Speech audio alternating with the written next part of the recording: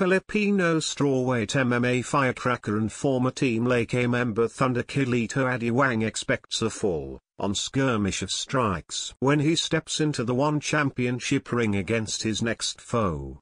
Adiwang is set to lock horns with Australian, Thai multi-sport phenomenon former One World title challenger Mini T Danial Williams at One Fight Night 19, Haggerty vs. Lobo on Prime Video. The event will be broadcast live from the iconic Lumpini Boxing Stadium in Bangkok, Thailand, on Friday, February 16.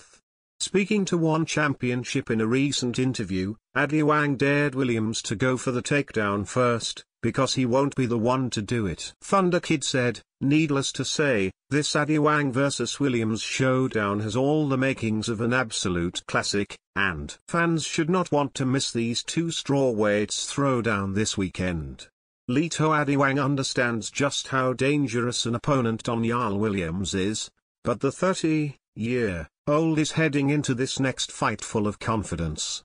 He told One Championship, One Fight Night 19, Haggerty vs. Lobo airs live in US primetime on Friday, February 16. Fans in the United States and Canada can catch all the action absolutely free with an active Amazon Prime Video subscription. Stay tuned to Sportskeeda MMA for all the latest news and updates surrounding the event.